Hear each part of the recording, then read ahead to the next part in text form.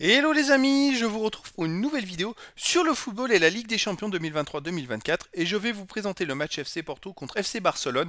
C'est un match qui a lieu ce mercredi 4 octobre 2023 à 21h pour le compte de la deuxième journée du groupe H. Donc dans cette vidéo, je vais revenir les amis sur ce groupe H avec le classement, les statistiques, les résultats et euh, surtout le calendrier. Et on verra également ensuite les meilleurs buteurs et passeurs de cette Ligue des Champions.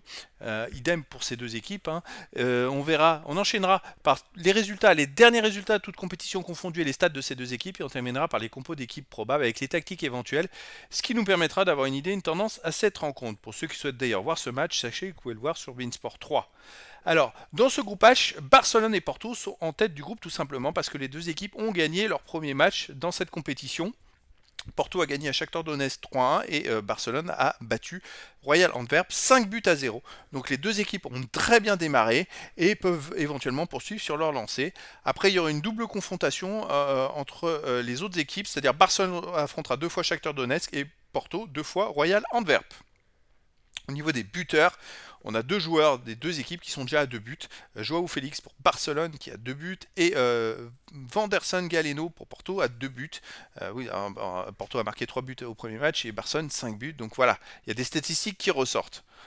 Au niveau des matchs joués, toutes compétitions confondues, alors Porto a joué cette saison 7 matchs, pardon, 8 matchs, 8 matchs, c'est pas 7, et c'est euh, surtout 6 victoires, un nul, seulement une défaite, et la défaite, ils viennent de la faire à Benfica, un but à 0 à la dernière journée.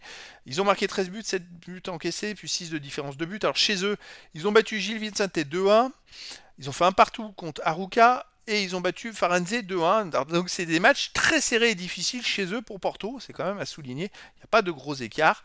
Euh, ça peut éventuellement jouer pour cette rencontre. Après, quand on affronte Barcelone, que c'est avec des champions, on est toujours à 200%. Barcelone, sur les 10 matchs, derniers matchs joués, c'est 8 victoires de nul, aucune défaite. L'équipe est invaincue, 24 buts marqués, 8 buts encaissés, puis 16 de différence de but.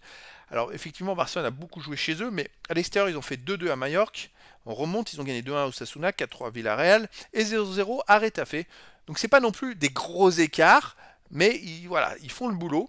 Et puis surtout, c'est une équipe très costaud, solide euh, collectivement et qui a des super individualités. Donc euh, voilà, ça, met bien en, avant un petit peu les, forces et faiblesses de chacun. Allez, les compos d'équipe possibles. Alors pour Porto, ça serait en tactique 4-4-2 avec gardien Costa, défense Joe Mario, Cardozo, euh, Carmo, Wendel. Milieu de terrain, Romario, Varela, Eustachio, Galeno, attaquant Taremi et et pour Barcelone, même tactique, 4-4-2, avec gardien de Ter Stegen, défense Concelo, Koundé, Arroyo ou Christensen, Baldé, milieu terrain Yamal, Gundogan, Gavi et Félix, attaquant euh, Torres et Lewandowski. Donc voilà, le décor est planté entre ces deux équipes qui ont déjà gagné leur premier match cette saison en Ligue des Champions et plutôt facilement et qui sont très bien lancés pour la suite. Donc les amis, eh bien, écoutez, ça va être un super match. Je vous donne rendez-vous euh, ce mercredi 4 octobre 2023 à 21h pour le match de la deuxième journée du groupage dans la Ligue des Champions 2023. 2023-2024. Le FC Porto reçoit le FC Barcelone. Voilà les amis, je vous dis à très bientôt pour une nouvelle vidéo.